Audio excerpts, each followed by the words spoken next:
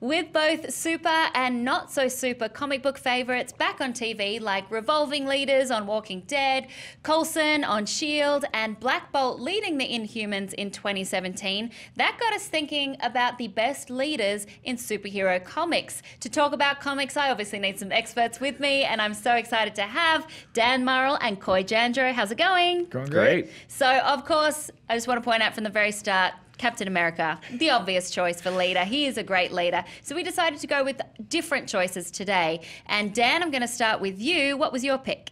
I'm gonna go boring. Uh, the- no, but I the, the the leader that I remember the most, it came from watching the '90s animated series, especially, and the relaunch of the comics about the same time, was Cyclops. Uh, from the X Men. Not the most interesting character in the world, that's true. Kind of a tortured uh, soul, a little bit, yeah. very serious. But one of the reasons I think he's a great leader is that the X Men have so many different personalities. That team, no matter what the makeup of that team, no matter who's on the team, it's always such a clash of different types. You have flamboyant, you have serious, you've got Wolverine who just does whatever kind of pops in his head. Yeah. Yeah. And I think that he doesn't get a lot of credit from fans for being able to manage all of those personalities and being able to effectively lead that team. They may not agree with him all the time, but they respect him. And a lot of people are like, oh, well, he quits the team. Blah, blah.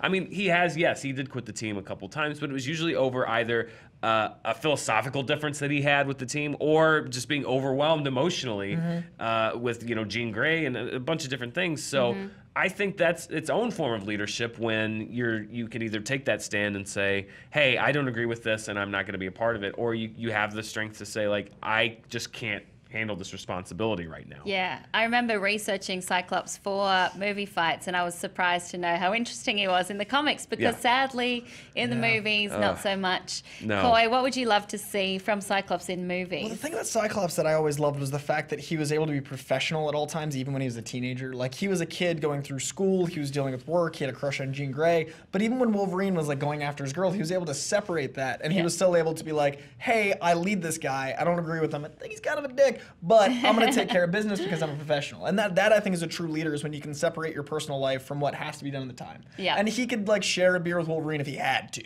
Yeah. and that takes a lot. And that's that's a real leader. Yeah, I felt like Cyclops in the movies was written by people who didn't like Cyclops very much. Like he was always just like, "Stay away from my girl." And just it's eyeballing Wolverine. Yeah. Like, you're not eyeballing Wolverine. No. And the comics now it's similar too, where he's like leading a mutant revolution. I'm like, "N- no, Yeah, like, he's not a, a, a terrorist. What are you doing? It's Yeah. very strange. I mean, I, I think uh, again, it, it's. I think the reason they keep playing with that character is that it's not necessarily the most interesting character They're trait is leadership, him. but Right. Yeah. I respect the fact that he is at the time, especially in the '90s, a great leader. I thought for that Yeah. And he's similar to Captain America in that he is a Boy Scout. Yeah. In that he is the guy that's truth, justice, solving problems. Yeah. Yeah. And I respect that. And there's a reason Jean Grey fell for him. Like people don't think of that. There's a Yeah. reason that she's with Scott. Which you don't get in the in the movies at all. No. Poor, Poor James, James Marsden. Marsden. Poor. James Marsden. Because he's perfect for it. I Like he's a great Yeah. actor for it. It just it didn't go his Didn't way. go And it his was way. Tye Three Sheridan as the younger version, wasn't it? Mm-hmm. With Tye is such a great young actor. Hopefully, we'll see a better version of Cyclops in the movies. I hope so. Someone that we will be seeing a great version of in a movie very, very soon is my choice, Wonder Woman. I remember watching the television show on reruns when I was young, and it was really powerful to see this strong female character on screen.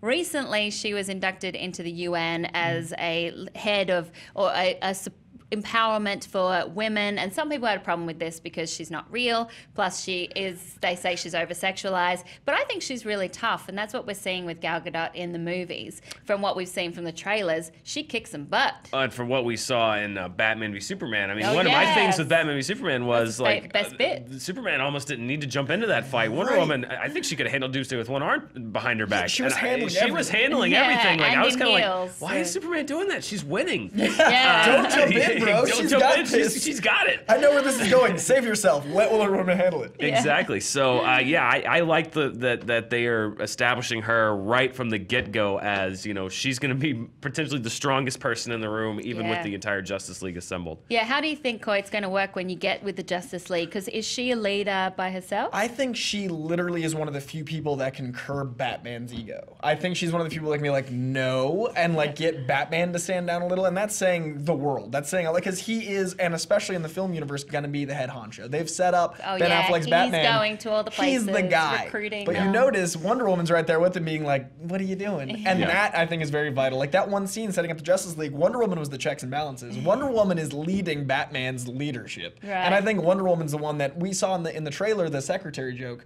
We see that it's shaping up to be like Chris Pine making jokes because he's following Wonder Woman. Yeah. Like Yeah. she's the leader of the Amazonian people in this situation, and she's going to lead, I think, the Justice League more than we're used to in the comics. And I think that's what DC movies need. Yeah, they need great leaders. A Marvel universe has a lot of leaders, including your choice, Coy. My choice is Black Panther. I think Black Panther has not only he had to earn his leadership, but he also was hereditarily set up for leadership. And when you have that combination of both being bestowed leadership but then having to earn it beyond that, I think that makes a true leader because he's not a Joffrey, he's not a Kardashian. He's a guy who actually stands up to He's the mantle. not a Kardashian? I, I thought he was. This Nope. the God damn one. it. Oh. But he's a guy who literally has to like earn the right of something that he could just feel entitled to. And he's also a guy who has at times stood aside of his own title and been like, no, no, you're the Black Panther. Mm-hmm. I have done something wrong. I have thwarted uh, my own people in some way. And no, you take this spot. And he also is a political leader. He's a societal leader. He's a leader of a team. He's a superhero leader. And he's got to deal with this technology and the money. Like he's literally got to be in charge of a hundred things at once. So he's like Captain America plus politics of an Yeah. entire country. Yeah. And he's fighting and he's leading a bit. Like it's insane. Wakanda, right? Yeah. Wakanda.